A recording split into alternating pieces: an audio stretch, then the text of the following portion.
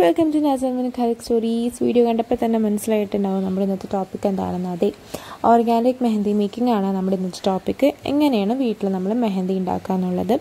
അപ്പോൾ നമുക്ക് നമ്മുടെ വീഡിയോയിലേക്ക് കിടക്കാം. അതിന് മുന്നേ നമ്മുടെ ചാനൽ സബ്സ്ക്രൈബ് ചെയ്തിട്ടില്ല എന്നുണ്ടെങ്കിൽ എല്ലാവരും നമ്മുടെ ചാനൽ സബ്സ്ക്രൈബ് ചെയ്യുക. ആ ബെല്ലൈക്കണും കൂടി ഒന്ന് ക്ലിക്ക് ചെയ്യുക. അപ്പോൾ നമുക്ക് നമ്മുടെ വീഡിയോയിലേക്ക് കിടക്കാം. എന്തൊക്കെയാന്ന് നോക്കാം. ഒരു ഗ്ലാസ് ബൗൾ ഹെന്ന പൗഡർ വഹ വൺ കപ്പ് പിന്നെ ഒരു നാരങ്ങ ആവശ്യത്തിന് പച്ചവെള്ളം. പിന്നെ ചായപ്പൊടിയുടെ നല്ല കോൺസെൻട്രേറ്റഡ് ആയിട്ടുള്ള വെള്ളം. Eucalyptus oil one teaspoon ചായപ്പൊടി വെള്ളം രണ്ട് ടീസ്പൂൺ അതൊക്കെയാണ് നമുക്ക് വേണ്ട ഇൻഗ്രീഡിയൻസ് നമ്മൾ നമ്മുടെ മെഹന്തി പൗഡർ നല്ലവണ്ണം അരിച്ചെടുത്തിട്ടില്ലാണ്. അത്യാവശ്യം നല്ല രീതിയിൽ നമ്മൾ അരിച്ചെടുത്തിട്ടുണ്ട്. അതിനകത്തേക്ക് പൊടിയൊന്നും ഒരു കാര്യമായിട്ട് കട്ടയൊന്നും ഉണ്ടാവത്തില്ല. അതിലേക്ക് നമ്മൾ മൂന്ന് സ്പൂൺ പഞ്ചസാര ഇട്ട് കൊടുക്കുകയാണ്. മൂന്ന് ടേബിൾ സ്പൂൺ പഞ്ചസാര. പിന്നെ ചായപ്പൊടിയുടെ വെള്ളം. അത് നമ്മൾ നല്ലോണം കോൺസെൻട്രേറ്റ് ആയിട്ടുള്ള ചായപ്പൊടി തിളപ്പിച്ച് കുറച്ച് വെള്ളമാണ്. മൂന്ന് സ്പൂൺ ഉണ്ട് അത്. അതിന്റെ കൂടെ ഈ കാലപ്സിസ് ഓയിലും വൺ ടേബിൾ സ്പൂൺ നമ്മൾ ഇതിനകത്തേക്ക് ഇട്ട് കൊടുക്കുകയാണ്. എന്നിട്ട് നല്ല രീതിയിൽ അത് മിക്സ് ചെയ്ത് കൊടുക്കണം.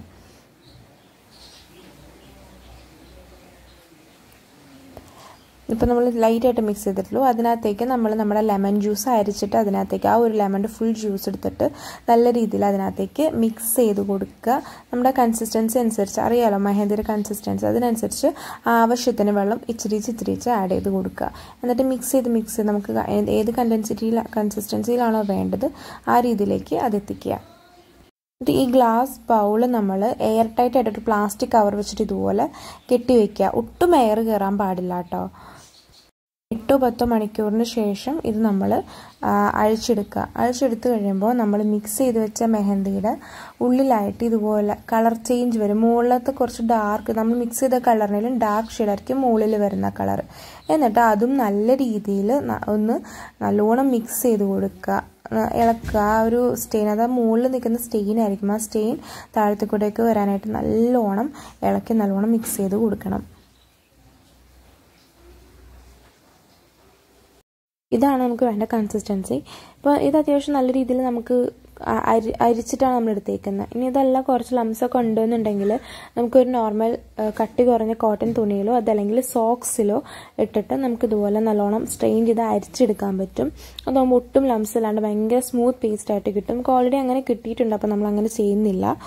പിന്നെ നമുക്കിനി ഫോൺ ഉണ്ടാക്കുന്നത് എങ്ങനെയാണെന്ന് നോക്കാം. ഇതുപോലെ പ്ലാസ്റ്റിക് പേപ്പേഴ്സ് അല്ലെങ്കിൽ പ്ലാസ്റ്റിക് കവർ ഷീറ്റ്സ് നമുക്ക് മാർക്കറ്റിൽ അവൈലബിൾ ആണ്. അതല്ലാന്നുണ്ടെങ്കിൽ കുറച്ച് കട്ടിയുള്ള പ്ലാസ്റ്റിക് കവർ എടുത്താലും മതി.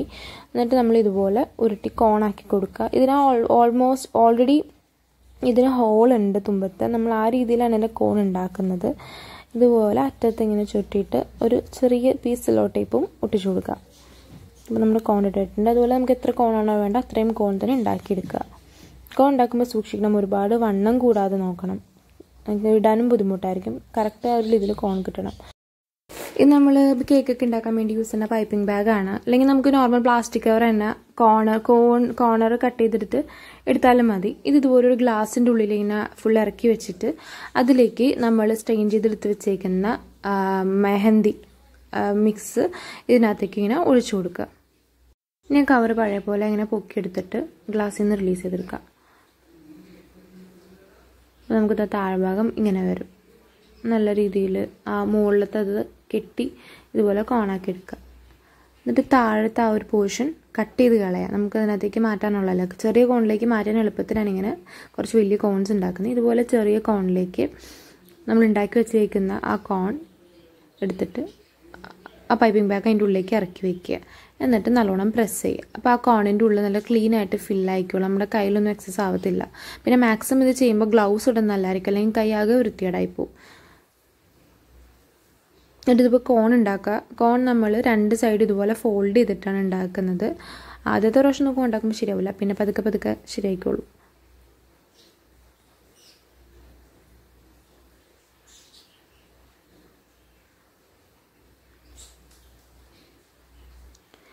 നല്ലോണം ഫോൾഡ് ചെയ്തിട്ട് ഒരു സെലോ ടേപ്പ് എടുത്തിട്ട് ഫിക്സ് ചെയ്യുക